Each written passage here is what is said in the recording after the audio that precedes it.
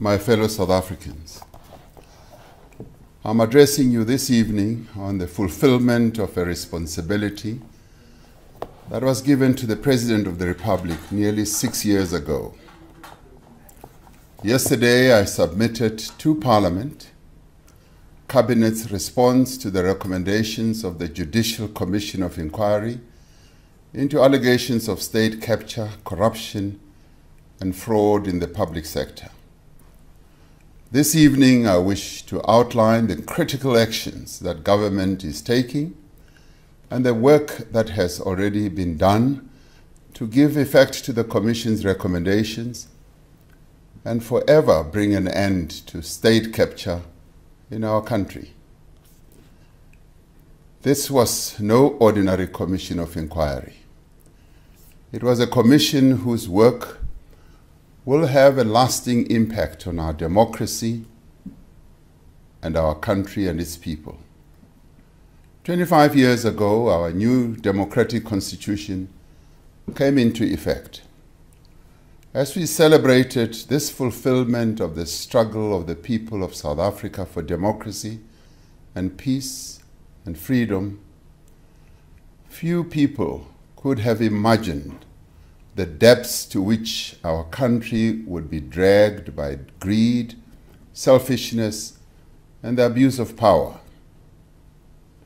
Few people could have imagined that from among the leadership of our public institutions, from within our business circles, from among our public representatives and public servants, would emerge a network of criminal intent. Few could have imagined that this group of people would infiltrate key departments of government, state owned enterprises, private companies, law enforcement bodies, and security services to loot vast amounts of public funds, that they would weaken and destroy state institutions and thus undermine the capacity of the state. The corruption that was perpetrated in our country is a crime against the people of South Africa. Corruption is a betrayal of our democracy, and it is also an assault on the institutions that we established together to advance the values of our Constitution and the interests of our people. The money that was stolen robbed our people of resources that should have led to the development of our country and improved the livelihoods of our people. Yet, even as state capture and corruption sought to compromise our democracy and destroy our institutions, our democracy remained resilient and the people of South Africa stood firm, defiant, and resolute. Despite our achievement at bringing state capture to an end, its effects remain. The difficulties and challenges our country is facing today have many causes, but state capture made a substantial contribution to many of our challenges. When we do not have enough locomotives to carry goods to our ports, when our power stations fail, when our national airline closes routes and cancels flights, when the employees of a state owned enterprise are not paid, and when our security services are slow to respond to public unrest, we feel the hand and effects of state capture. We see the effects of state capture in other areas as well. In our weakened institutions, in the substantial public debt of some of our institutions, in poor service delivery, and in diminished public confidence in the state. The Commission's report notes that state capture was facilitated by a deliberate effort to subvert and weaken law enforcement and intelligence agencies so as to shield and sustain illicit activities, avoid accountability, and to disempower opponents. That is why, even as the State Capture Commission was being appointed in 2018, this administration was taking decisive steps to end state capture and rebuild our institutions. Since the start of 2018, we have appointed new leadership at the Hawks, an institution that was targeted for weakening, which has since then secured 4,500 convictions for corruption and other priority crimes. The National Prosecuting Agency was another institution that was deliberately weakened. We have appointed a new National Director of Public Prosecutions on the recommendations of an independent panel following a transparent public process. We established the NPA Investigating Directorate to prosecute state capture and other significant corruption cases. And now, to further strengthen existing anti corruption capabilities, the Investigating Directorate will be established as a permanent entity within the NPA.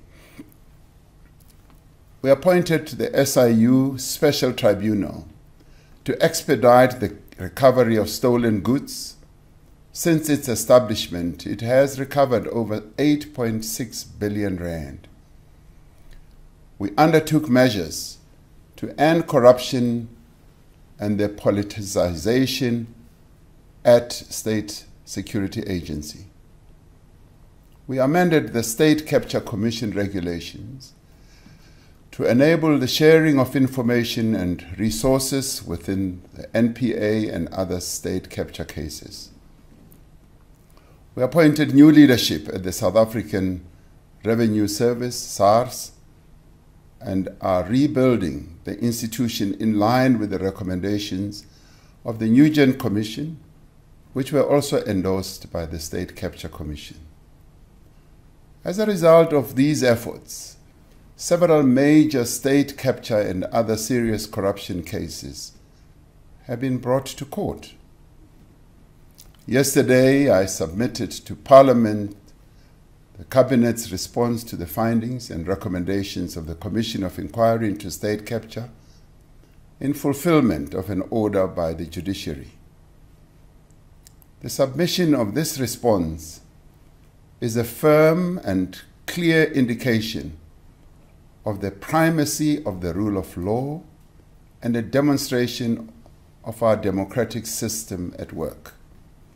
This response constitutes an ethical, moral, and institutional departure from the abuses revealed by the State Capture Commission. This response is also intended to be a platform to mobilize all sectors of our society against fraud, corruption, and state capture now and into the future. We are submitting this response to Parliament six years to the month since former public protector advocate Thuli Madonsela released her State of Capture report. The public protector's State of Capture report related to an investigation into complaints of alleged improper and unethical conduct by several state functionaries and private individuals and companies. Having witnessed the proceedings of the State Capture Commission, which were public for all to see, for close on to four years. You, the people of South Africa, naturally seek restoration, redress, and accountability. You expect your country's economy and its state to be ethical and free of corruption as it serves your needs and the broader interests of all our people.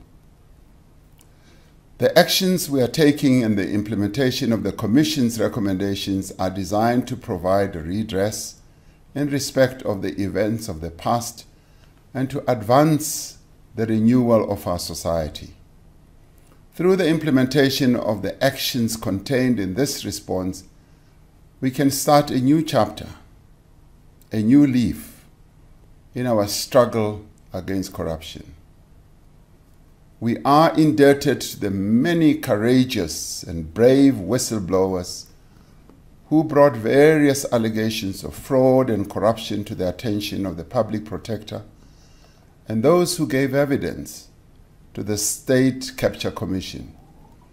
We are indebted to the men and women who executed their functions tirelessly and honestly in our criminal justice institutions, who, without fear or favor, worked to turn testimony presented to the Commission into evidence that can now be of use in prosecutions. We are indebted to the diligent public servants and public representatives, researchers, many journalists, activists, workers, and business people who uncovered, spoke out against, and resisted state capture. Given the impact that fraud and corruption had in our country, the response to state capture must be a national effort. During the course of its work, the Commission heard evidence from over 300 witnesses and held more than 400 days of hearings. The report of the Commission, consisting of six parts, was handed to the President over a period of six months. The first part of the report was submitted on the 4th of January 2022 and the final of the part of the report on the 22nd of June 2022. Each part of the damning report was made public as we received it. The State Capture Commission report concluded that there can be no doubt that state capture happened in South Africa.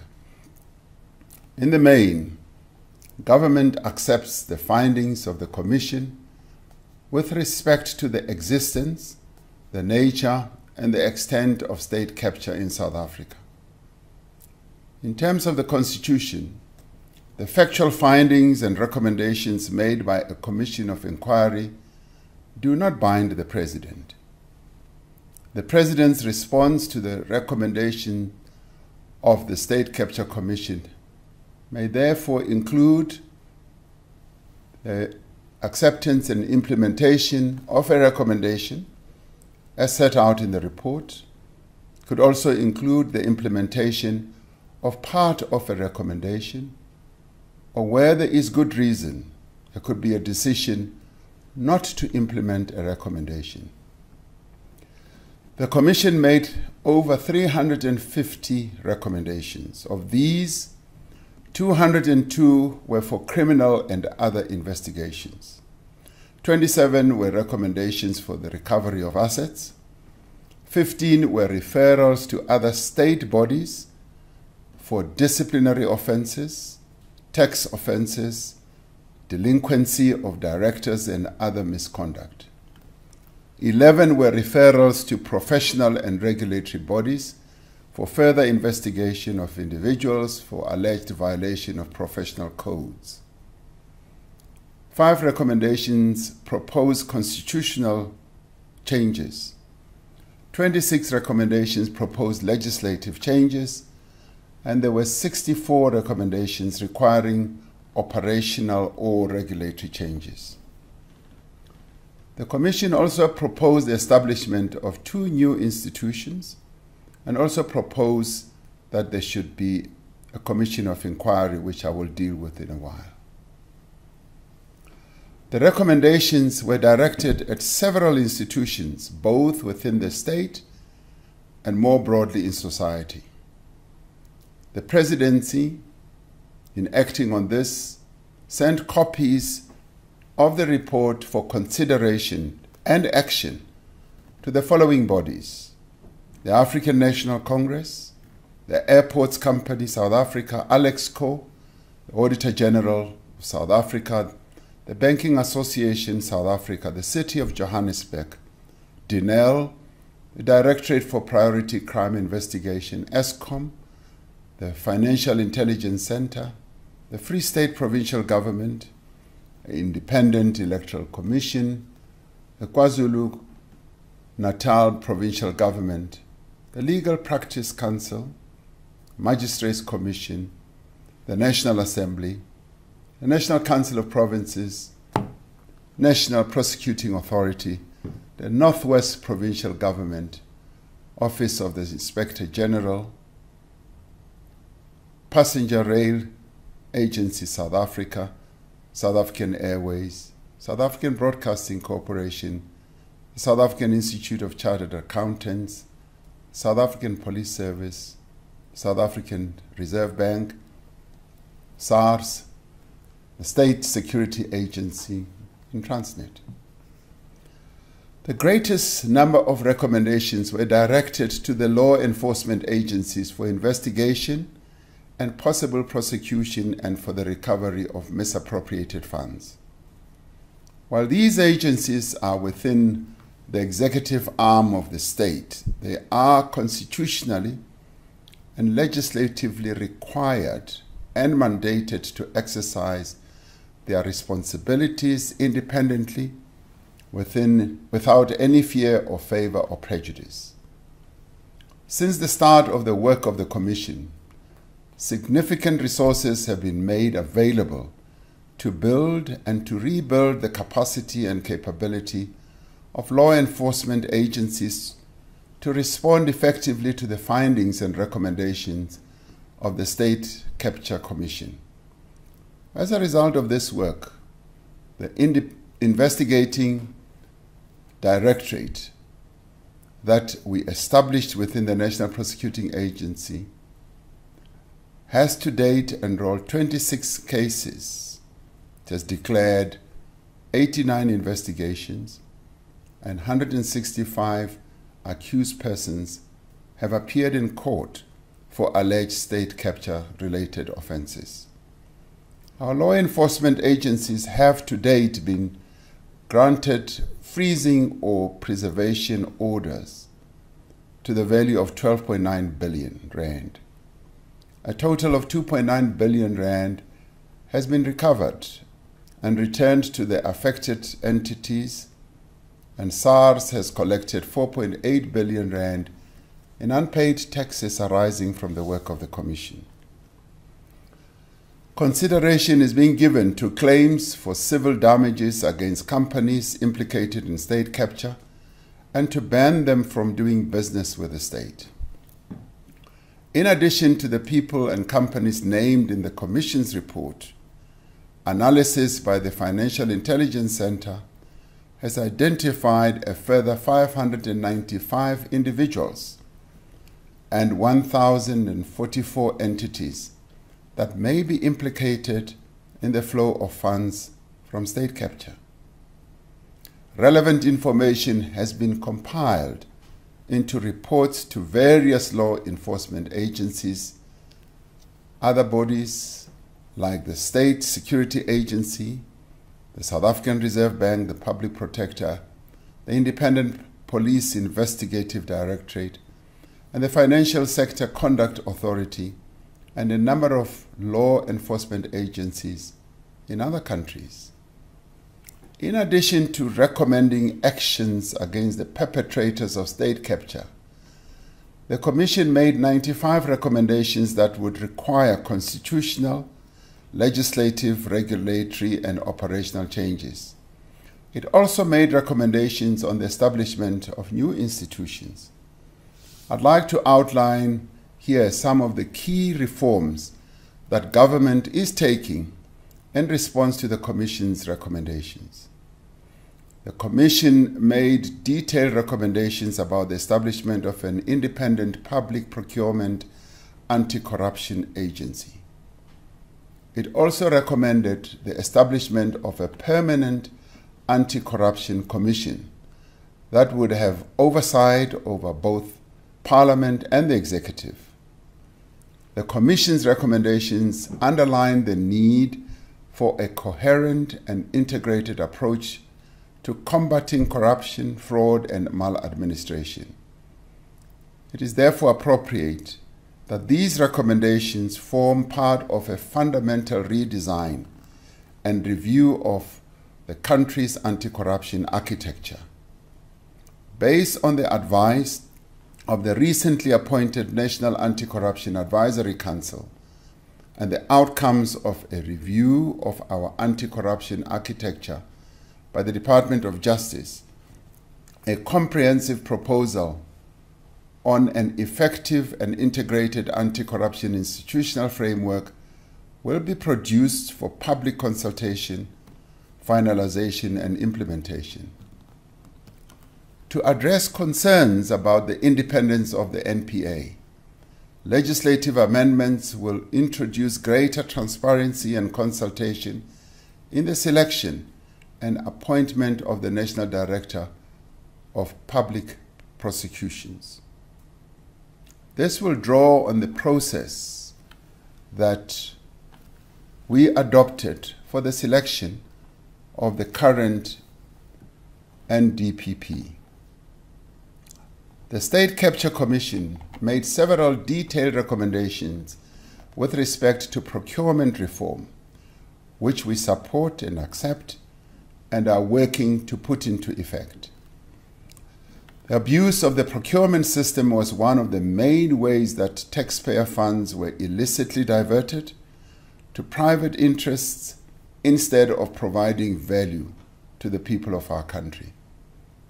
The Public Procurement Bill, which is expected to be finalized and submitted to Parliament by March 2023, will address many of the Commission's recommendations.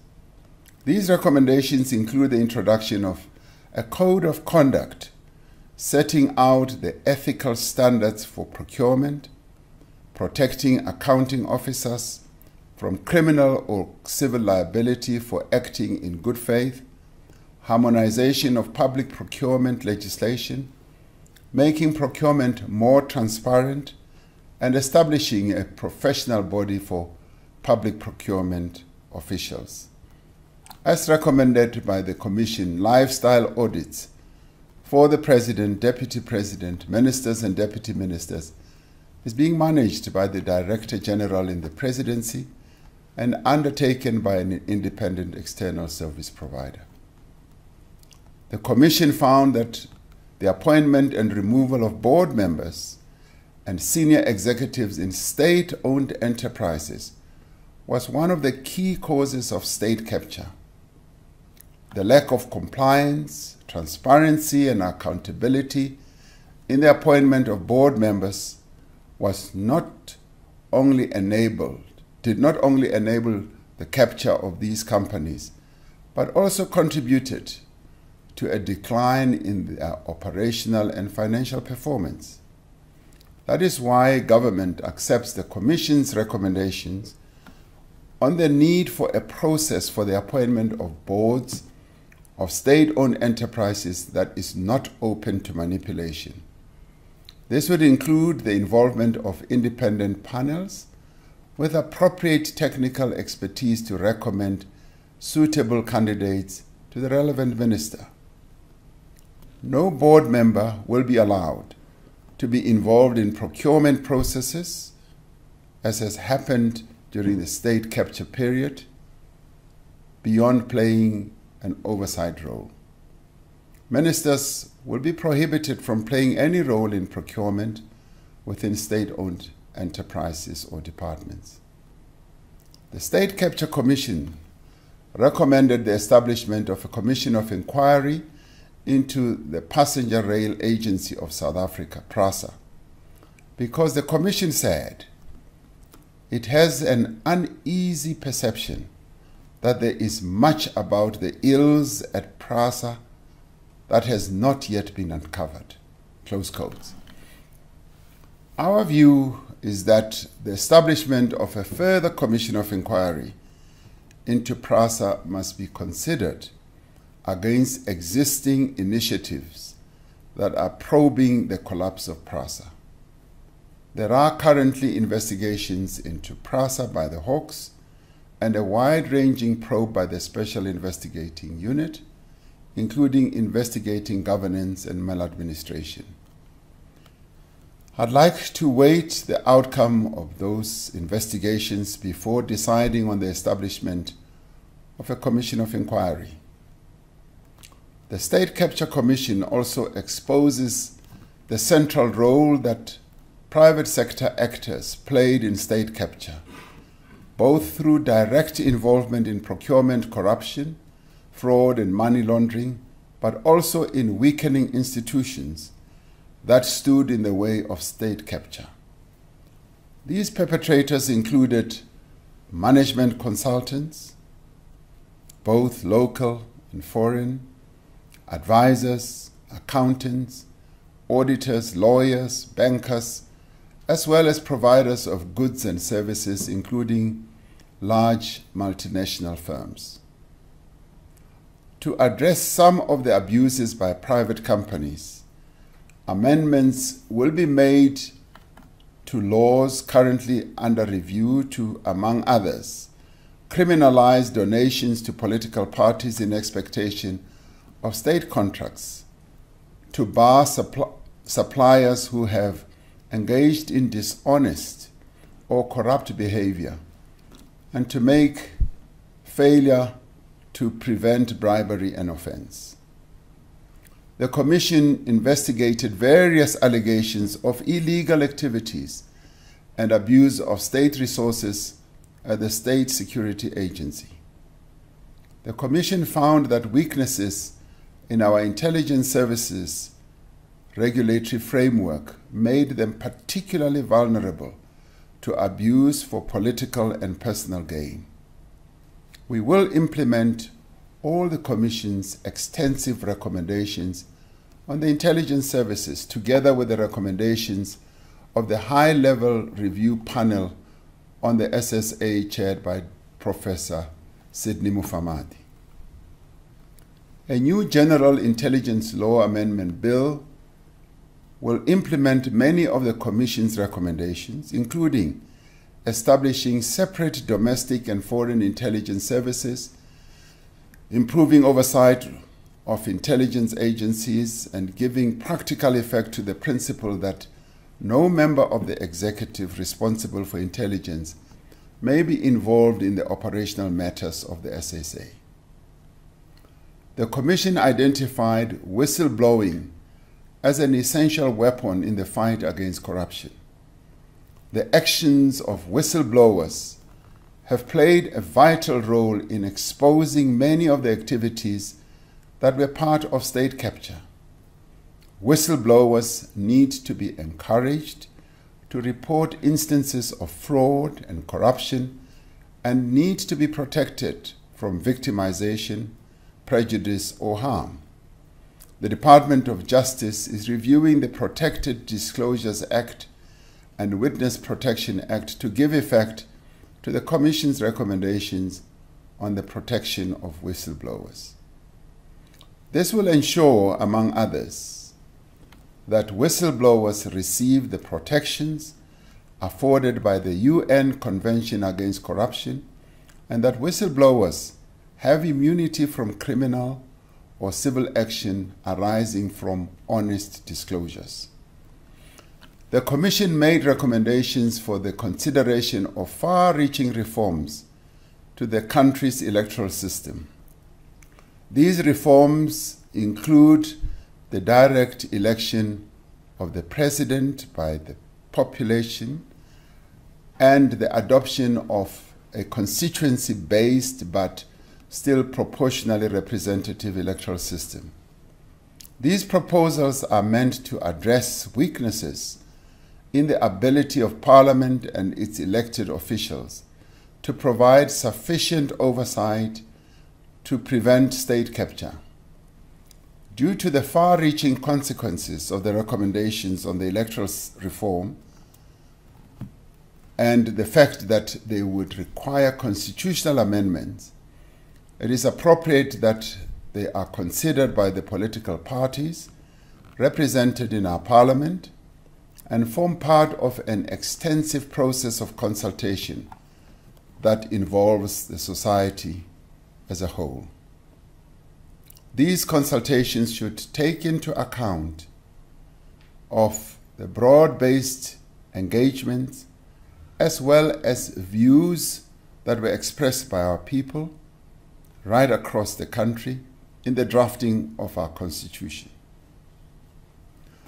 The State Capture Commission made certain observations with respect to the responsibility of the President and Premiers for the actions and failures of ministers, deputy ministers, and MECs, respectively. The Commission made the fundamental point that persons who occupy positions in government must be people of integrity who conduct themselves ethically and in compliance with the law. Therefore, in exercising my powers with respect to members of the executive, I'm required to consider the Commission's findings, recommendations, and observations about particular individuals. In this regard, I am attending to the Commission's recommendations and observations on members of the executive against whom adverse findings were made. The Commission found that in several instances, Parliament had not been effective in holding the executive to account. It made several recommendations to remedy the shortcomings that it identified. Some of these recommendations had to do with Parliament's internal arrangements, such as the chairing of portfolio committees, while others related to Parliament's interface with the executive and how to ensure that ministers account to Parliament fully and regularly. In giving consideration to these recommendations, we are mindful of the separation of powers and the right of Parliament to determine its own rules and arrangements within the provisions of our Constitution. In this regard, Deputy President David Mabuza who is the leader of government business, will interact with Parliament's presiding officers on the Commission's recommendations on the interface between Parliament and the Executive. To ensure that Parliament is sufficiently resourced to hold the Executive to account, the National Treasury will engage with Parliament to determine the most appropriate way to give effect to the Commission's recommendations on the funding of Parliament. If we are to successfully end state capture and turn the tide on corruption, the actions set out in my response to the State Capture Commission will require dedicated coordination and effective implementation this regard, I've directed various departments in government, ministers, to ensure that there is full implementation. Progress will be closely monitored and regularly communicated. All sections of society will also be engaged and involved in the implementation of the actions to give effect to the recommendations of the Commission. In conclusion, let me express on behalf of the people of our country our profound gratitude to the dedication and wisdom with which Chief Justice Raymond Zondo led this commission. We once again extend our gratitude to the Secretary of the Commission, the heads of the investigation and legal teams, the evidence leaders, the researchers, and other Commission staff we recognize the contribution of the former public protector advocate Thuli Madonsela, whose initial investigation into allegations of state capture laid the foundation for the establishment of the State Capture Commission. The submission of this response to Parliament gives full effect to the remedial actions contained in the Public Protector's report of November 2016 while it marks the end of a chapter in our country's history, the hard work to restore our country, repair our institutions, and rebuild our trust in each other still lies ahead. This administration is firmly committed to undertake this task to combat corruption in all its forms, in every part of government and in every sphere of the state. Where corruption has occurred, for example, in the procurement of the COVID 19 related goods, we have acted swiftly to prosecute those responsible and recover stolen funds. This has been made possible in large part due to our efforts to strengthen the South African Police Service, the Hawks, the National Prosecuting Authority, the South African Revenue Service, SARS, the Financial Intelligence Center, the Special Investigating Unit, and other important agencies.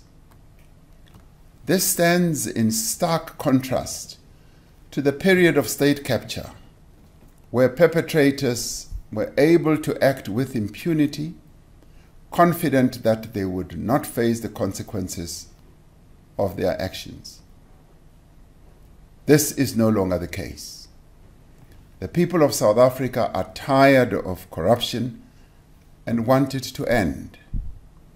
Those who are involved in corruption or who are even thinking about engaging in criminal conduct must know that all the instruments of the state will be used to bring them to book. There will be no place for corrupt people, for criminal networks, for perpetrators of state capture to hide. Now that our response to state capture commission has been submitted to Parliament, we look forward to the deliberations and suggestions of members of Parliament and from across society as we take forward the recommendations of this Commission. As a country, we are emerging from a very dark and difficult period.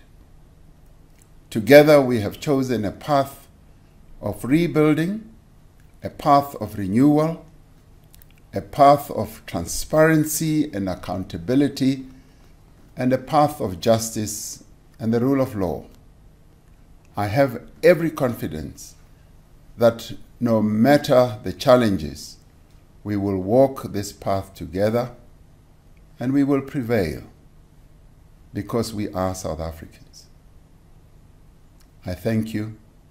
May God bless South Africa.